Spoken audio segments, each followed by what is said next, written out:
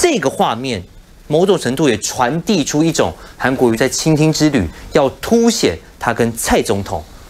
最不一样的地方，他有温度，蔡总统只有冷酷嘛。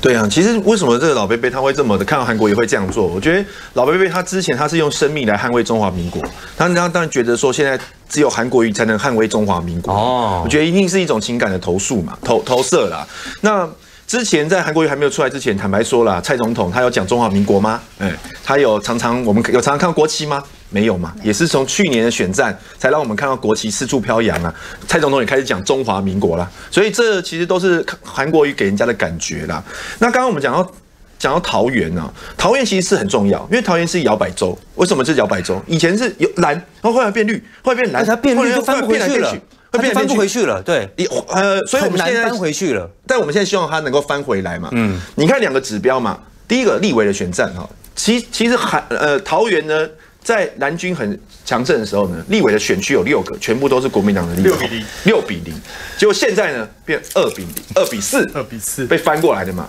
那现场选举的话，以前朱立伦，然后接下来吴志阳，然后就换了郑文灿，啊，郑文灿又连任，那郑文灿连任。非常呃非常指标意义的是在于说，去年的选举，民进党是遇到大海啸，很多人都失败了，像林佳龙。六都，他这样赢的算多哎，桃园。对，当时他还可以赢数万票，郑文灿在在桃园很强啊，真的很强。苏贞昌还有那两个庙，今天韩国瑜去两个庙嘛，一个福仁宫啊，一个福仁宫也是关键，一个同同济堂，应该是同济堂吧。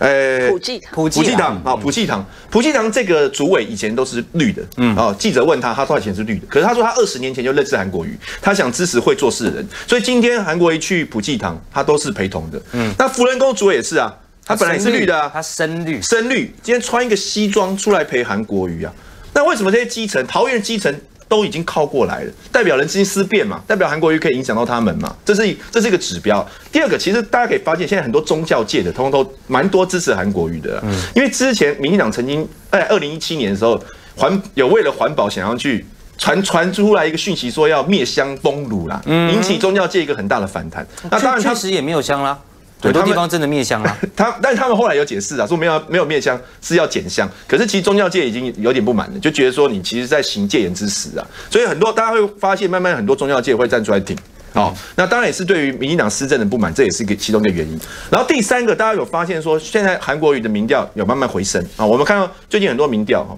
包括呃中间选民啊年轻人啊，跟整体的支持度都有拉近。那今天最新的是一个台湾关键台湾。指呃指标民调做出来的，现在的民调是还有差十一点五趴啦，可是不未表态的还是有高达三成啊。嗯，那但是这个指标民调里面有一个很有趣的现象，有一个他他有提到，他说现在选战打那么久，有七成二的民众是不知道蔡英文的证件。哦，对对对，有，嗯，然后只有十四点七人知道他的证件。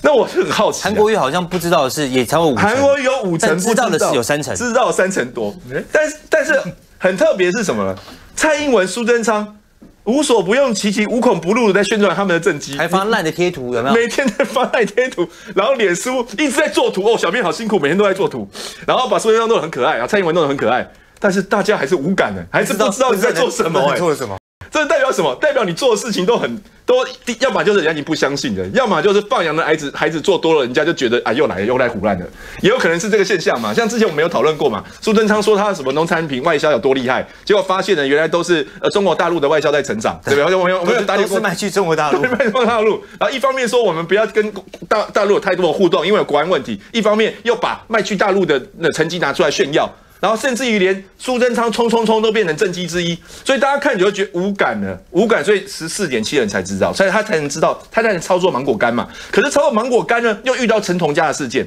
陈同佳的事件就让蔡英文操作芒果干完全破功啊！你不是很挺中啊？你不是你不是不是你不是很挺反送中？哎，你不是很撑港？那为什么遇到陈同佳要来，你忽然阉割自己的司法管辖权，然后忽然讲说啊呃我们有阴谋，我们不要办，然后最后过了五天发现民调不行，才才要改口说哦你们不办我们来办，这过程已经受伤了嘛，所以大家已经被大家看破手脚，所以我们现在其实民调有起来啊。那韩国瑜的政见有三成多人知道，不简单啊。是，对，因为哦如果跟蔡英文相比啊，有三成多的知道，是蔡总统两倍知道正确的。呃，这对正 正确知道正确的讯息，那那一定是因为大家知道正确讯息，所以民调才会起来嘛。所以其实基本上，我对我的我们的的这这样的一个基层之旅啊，民调都是相当的有信心啊，而且这次去桃去桃园，特别去跟两蒋做一个连结嘛。那其实桃园是很重视两蒋的，因为两蒋都葬在桃园。好，呃，老蒋总统是葬在慈湖嘛，那小蒋总统是葬在头寮。那慈湖有一个很特别的地方，叫做叫做铜像公园，因为前一段时间民进党去讲话，所以让很多学校机关都把蒋公的铜像丢掉。那慈湖有一个那边的大溪镇长，当时的很聪明，就说你们不要全部丢在我这边，然后就后来就弄了一个全部都是蒋公铜像的公园。那很多国父也被错杀，所以里面有几个国父，所以大家以后去的话可以玩个游戏，就是寻找国父在哪里。然后对，但是我讲的是说。以两蒋特色，其实过去是跟国民党比较连结的，所以我是我会非常希望说韩国瑜这一次真的可以进反攻桃园，然后把桃园把它拿下来，让我们桃园给大胜。嗯。